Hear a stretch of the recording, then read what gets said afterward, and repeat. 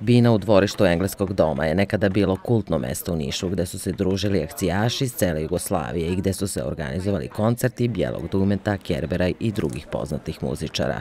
U saradnji sa mnogobrojnim donatorima, opština Pantelej ponovo će oživeti ovaj prostor na dan Svetog Pantelemona. Mi, e, nažalost, nemamo neki drugi prostor na teritoriji opštine na kojem bismo mogli eventualno da organizujemo neka kulturna dešavanja, koncerte, književne večeri, predstave.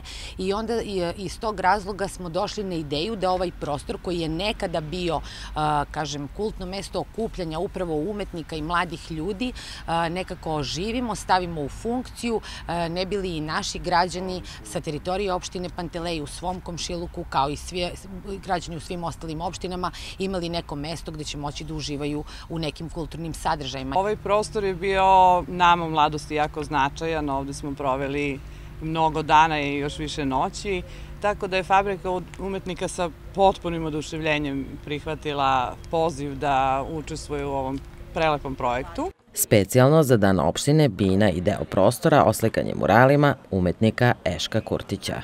Tu prvo imate ranohrišćansku grobnicu koja je nađen Hristov monogram. Drugo, nađeni su još neki umetnički elementi koji se nalaze na muralu tu u toj grobnici. Naravno da su ova dva lika bitna jer sporazum je sklopljen u dvorištu Pantelejske crkve između Stefana Nemanje i Barbarosa. Program povodom slave Pantelemona počinje u popodnevnim časovima 8. avgusta kada će biti i besplatnih koncerata bendova Crne Mambe i Opozit Vej.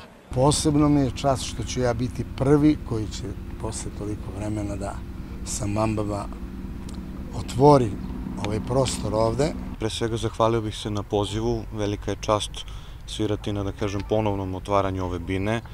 Nadamo se da će se ljudima svideti i mi ćemo svakako dati sve od sebe. Praznovaće se i 9. augusta kada je planirana svečana liturgija u crkvi Svetog Pantelejmona, etno sajam u kući starih zanata kao i svečana akademija kada će biti dodeljena javna priznanja, povelje i blagodarnice građanima Panteleja.